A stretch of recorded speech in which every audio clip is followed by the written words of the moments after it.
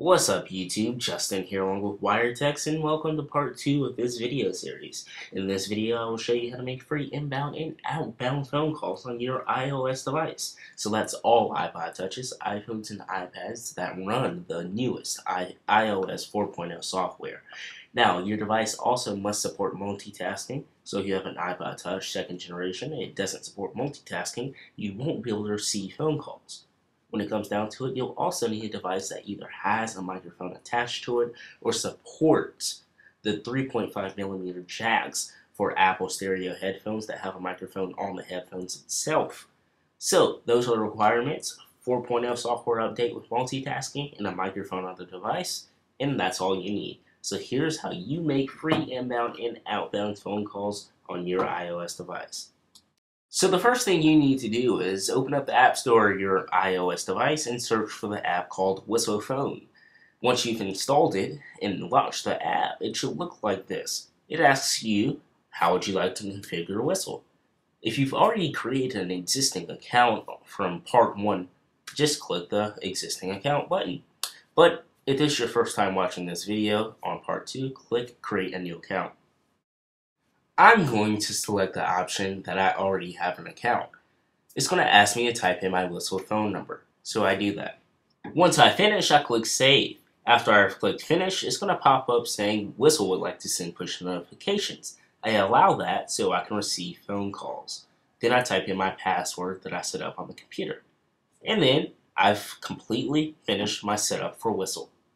Next, I need to download the app Google Voice.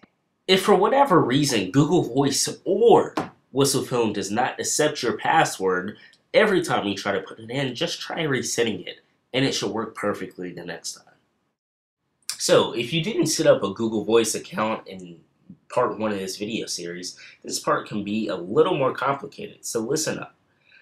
If you already have a Gmail account or a Google account, all you need to do is just log in at voice.google.com and, and activate your Google Voice account. But if you have or don't have a Google account or anything related to Google, then you need to set one up like I just did. Once that's set up, activated, and then you get this screen from voice.google.com. If you really want to know how to do this, you can check out part one. But the most important thing is the call forwarding, which I'll skip to. So, step four that you get here, or actually step three out of four, says add a forwarding phone. This forwarding phone needs to be your whistle phone. Now, if I didn't make this clear before, you need to be on your computer when you do this. You can do it on your iPhone, iPad, or iPod Touch, but it's a little more confusing when you do that.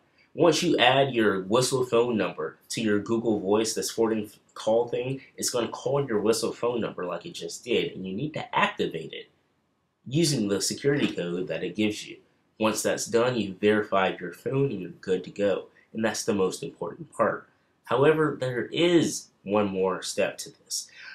Actually, two more to be honest, which are both important. So once everything is done, you'll get this congratulations screen. Then you'll need to click settings, voice settings, and then you'll need to click the tab calls. Not the tab voicemail and text like I just did, the tab calls. You'll need to turn call screening off, confirm it, then click Save Changes. Once that's done, you've really completed everything you need to do with Google Voice. But there's one more thing. You need to actually set up Follow Me. This is actually a service of WhistlePhone. In order to do that, um, I'll take you to the WhistlePhone app now. Now that we're at the WhistlePhone app, you'll need to click the information button, which is the I in the top right corner. Once that's done, it'll pop up with a screen looking like this. You'll need to make sure you're on the account tab, type in your password, and go to my account. Then you'll click the My Follow Me button, and it's going to load here. And once it finishes to load, it's going to say add a new number. It's not going to show Google Voice. Once you click add a new number, you'll label it as Google Voice and type in your Google Voice number. Once we're done typing in our phone number, we'll click, our Google Voice phone number, we'll click Add Number. Once that's done, we'll exit the application and launch the Google Voice app so we can manage our texting, our call logs, and so here's the Google Voice app. You'll need to sign in. First. Once we're signed in, we'll select our home phone number, which is our whistle phone number. Then you'll need to press the OK button, allowing Google Voice to send push notifications for text messages and missed calls. After that's done, you'll click the Settings tab and turn on Use Click to Call. Once you flick the switch for click to call on, you've successfully activated your free phone calling inbound and outbound on your iPod Touch, iPhone, or iPad.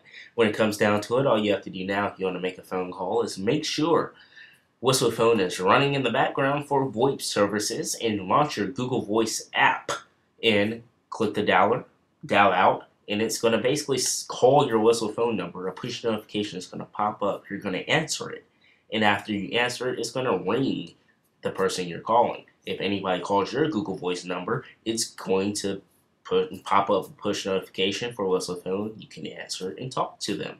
If you need to send a text message, all you have to do is just go into uh, Google Voice and address a new person, and it's that simple.